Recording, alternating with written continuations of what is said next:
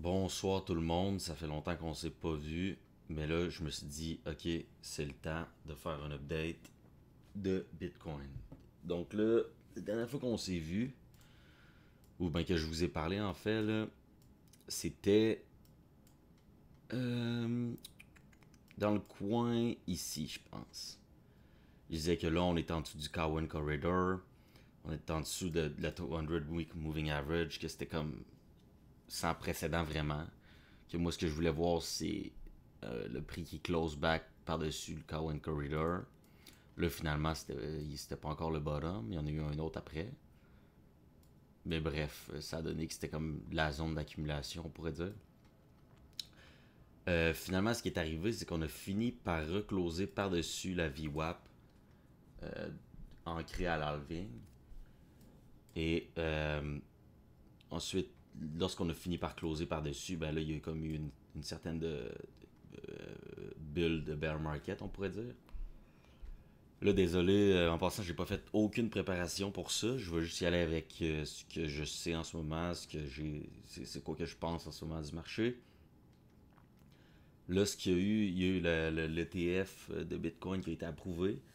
Et euh, une chose que je sais pas si les gens le savent, mais en 2019, il y a exactement la même chose qui est arrivée. Donc, euh, je sais pas si vous avez rappelé, ben ici, euh, après le bear market, il y a eu comme un, bear market rally. Euh, puis le bear market rally a topé directement quand le ETF de Bitcoin a été rejeté. Et ça a donné que c'était directement au 1. Euh, pardon. Là, c'est euh, pas comme ça que je voulais le faire. Je vais le faire comme ça ici, c'est ça. Un instant.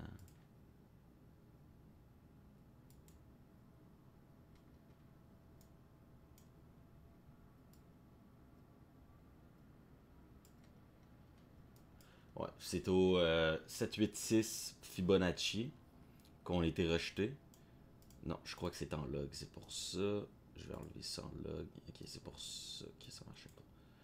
Pardon. Donc là, c'est au point 618 Fibonacci qu'on s'est fait rejeter. Euh, en prenant le top de la bull run au bottom du bear market.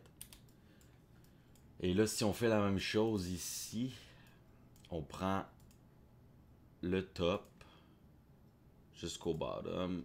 Et là, on a comme eu un weekly qui a touché au point 618 directement la semaine que là, l'ETF se fait approuver. Donc, c'est une drôle de coïncidence. Euh, si on pense qu'en fait, c'en est une. Et euh, donc là, je me dis, ok, si ça fait pas mal la même chose qu'en 2019, euh, et sur la même nouvelle, à peu près, et eh ben, c'est pas euh, reaché de dire que le, le, price action pourrait, pourrait euh, être le même aussi. Donc là, si on décide de prendre une barre de, de, la price action du top jusqu'à ici, disons, juste l'amener jusqu'au prix.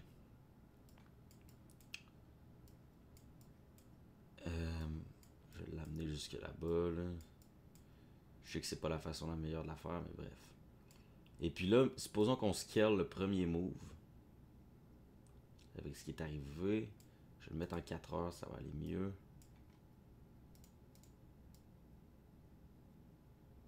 Disons qu'on scale le move comme ça.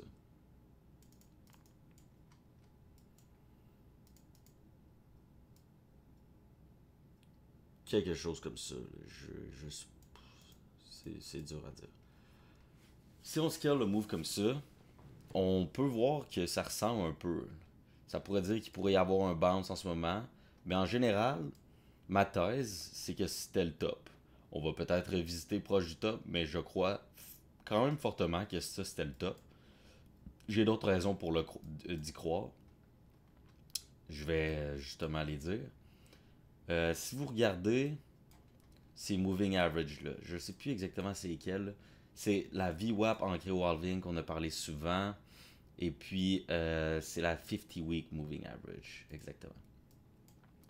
Donc, lorsque la 50 week, les deux ont cross, ça a marqué souvent un point de pivot dans le marché. Donc là, ici, ça n'était un, cas en 2021. Euh, ensuite, il y a eu le bottom exact du market cycle. Et puis là, on pourrait voir que cette semaine, avec un close, il y aurait un genre de pivot dans le marché. Donc, première, ça, c'est une des premières raisons. Je crois qu'il y a un pivot d'après le marché. que ça, ça, ça indique qu'il y a un pivot dans le marché. Deuxième raison, c'est évidemment qu'il y a la news qui est supposément super bullish, qui vient de sortir, puis que on a comme hit le point 618. Euh, donc là, euh, c'est la même chose qu'en 2019, pratiquement. L'autre raison, c'est que c'est.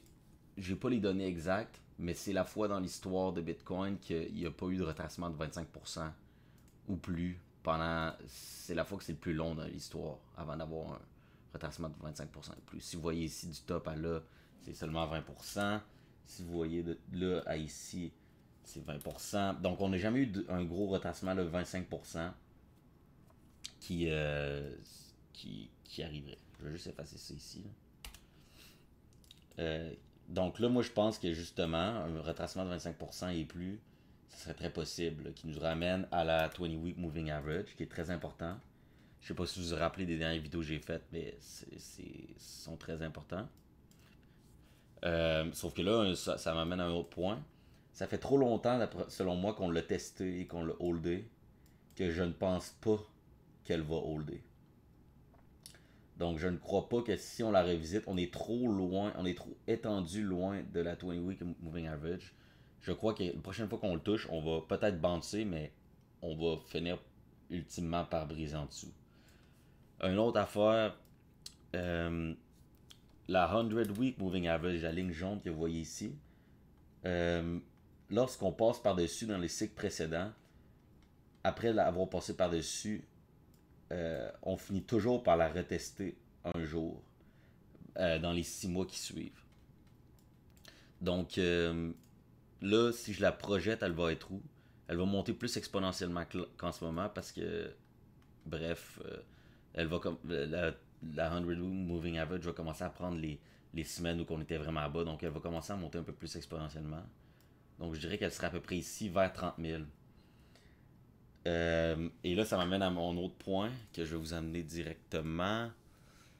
Euh, c'est liquidation des bitcoins. Donc, euh, il y a beaucoup, beaucoup, dans les trois derniers mois, il y a beaucoup, beaucoup de liquidations qui sont. pas de liquidation, pardon. Il y a beaucoup, beaucoup de leverage qui a été entraîné du côté long. Et vers 34 000, il y a des gros niveaux de liquidation. Donc, le monde, les gens perdraient tout leur argent. Et on sait que le marché cherche la liquidité. Donc, euh, ce niveau 34 000 là, c'est un niveau que je pense qu'on va revisiter. Et ça donne que ça concorde à environ avec l'endroit où la 20, 20 Week Moving Average est. Et ça, ça pourrait entraîner des liquidations qui nous descendent jusqu'ici. Une autre chose que je sais, c'est que le prochain halving de Bitcoin est en fin avril, début mai probablement. Donc c'est dans le coin ici que j'ai marqué. Et euh, proche de proche de, du halving, on drop tout le temps d'environ 20%. Que ce soit au début ou un peu après. Il y a tout le temps environ 20% historiquement. là, je vous le montre pas parce que j'essaie d'y aller un peu rapidement parce qu'il y a plein de choses. Mais donc, c'est ça. Donc là, moi, je pense ultimement que on devrait être dans ces zones-là, quelque part ici. Euh, est-ce que j'ai quelque chose d'autre à dire? Euh, sinon, comme je pouvais vous montrer, comme je vais vous le remontrer, là. Faire CTRL Z, CTRL Z.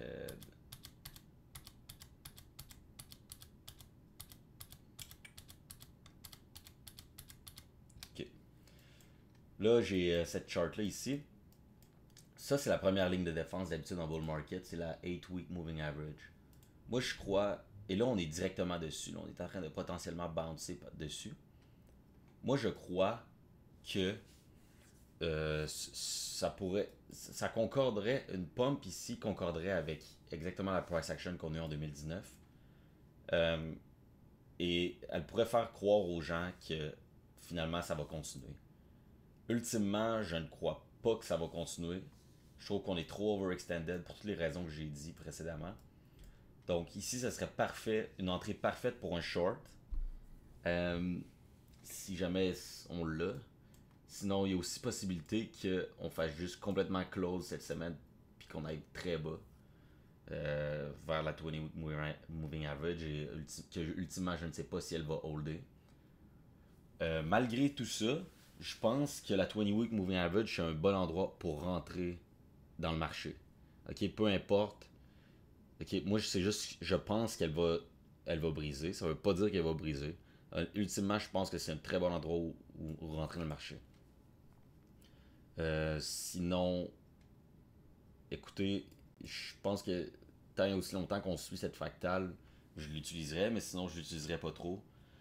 Euh, sinon, pour les coins que moi je vais acheter pour la, le cycle qui s'en vient, euh, ils sont tous ici. Donc, non, pas ça, pas ça. Donc, les coins que j'achèterais, c'est Tao. Euh, Tao, c'est euh, vu comme étant un, des gros plays en AI. Donc je pense que ce serait un narratif qui pourrait pomper beaucoup. Tia, c'est une nouvelle Layer 1 qui euh, de la tech révolutionnaire, entre guillemets. HNT, c'est un play sur Solana que je pense qui pourrait être très gros. donc au lieu d'acheter Solana, j'achète HNT c'est qui est un coin sur Solana. SEI, SUI, des Layer Ones qui sont vraiment hypés en ce moment. Je ne sais pas si vous voyez là, mais toutes les coins que je vous présente en ce moment ont vraiment beaucoup monté. En majeure partie. Et euh, moi je crois que lorsque le marché va décider de d'aller vers le bas, ça va être des opportunités des opportunités d'achat parfaites. Donc euh, je veux je vous en fais part. Euh, je crois qu'ils vont vraiment monter dans le prochain cycle. Et j'espère regarder cette vidéo-là plus tard et dire waouh, c'était super. En passant, tout ce que je dis là n'est pas euh, des conseils financiers. Euh, je fais juste ça pour à titre éducatif. Et sur ça, on va probablement, je vais probablement commencer à faire des updates parce que là, le marché commence à être un peu plus intéressant, je trouve c'est pas que j'étais pas dans le marché de crypto dans les dernières années, ben dans la dernière année, c'est surtout en fait que euh, j'avais aucune idée quoi faire et je préfère ne pas faire de vidéos quand je n'ai aucune idée de ce que de quoi je parle, puis que mes vidéos soient juste vraiment utiles. Donc euh, c'est ça. Merci beaucoup d'avoir écouté.